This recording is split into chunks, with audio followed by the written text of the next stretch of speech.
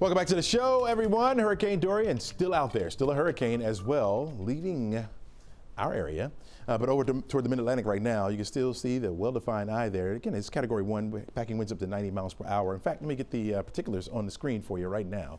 Uh, there you go. You're looking at uh, 90 mile an hour winds moving to the northeast, picking up some forward speed at 14 miles per hour, located about 25 miles east of Cape Lookout which is one of those lower outer islands right there. And then up here is the Outer Banks, that's where it's headed.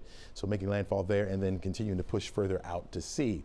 Uh, for us, dry and will remain dry today because of the hurricane. Our winds will be coming out of the north today. And so we'll get breezy at times again for this afternoon. Temperatures in the 70s starting off for the most part. Got some 60s sprinkled in here like Peachtree City at 68, 67 degrees down in LaGrange. 57 is the cool spot up there in Blairsville.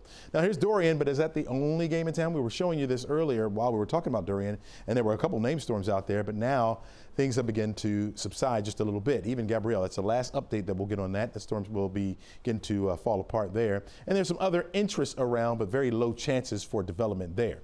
And so we don't have to look to the tropics. In fact, good time to go out there and maybe even do some help over in the Bahamas.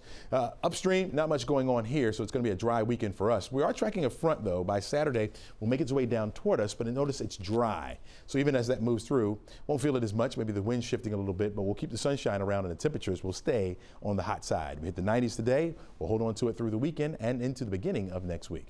Crash?